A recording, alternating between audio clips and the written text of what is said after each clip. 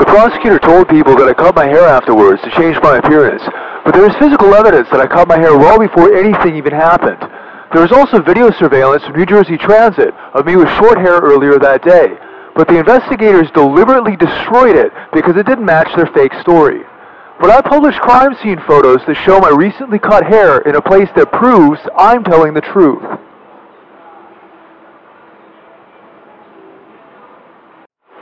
Crime scene photos show short, recently cut dark hair on the side surface of the bed.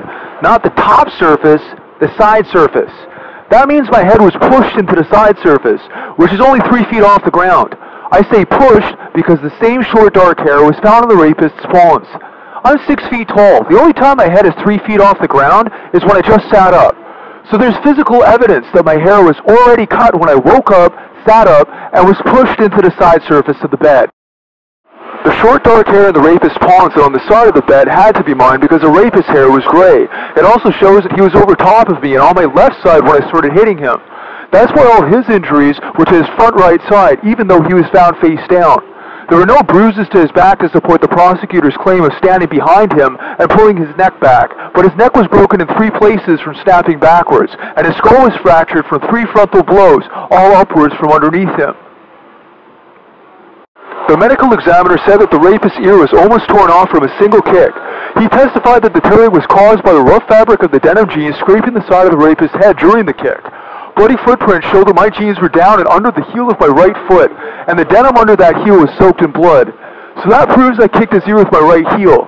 But if I were standing and kicking downwards, the skull around his ear would have fractured. Instead, the medical examiner said that the kick was horizontal, which proves that I was on the floor on my back. There is a large wet stain under the rapist's body, with the rag he was gripping near his right hand. The edges of the stain are red with blood, but the stain underneath his chest was just wet, without any red. The sheriff lied and said it was all blood, but ask any honest crime scene expert and they'll tell you the blood stains are red. I think the rapist was trying to wash me off with the rag, but the water woke me up. When he slammed into me, I pissed myself out of fear, but if they the urine stain under the rapist shows that I couldn't have been standing over top of him and pissing on him. It starts near his solar plexus, which was under his face-down body.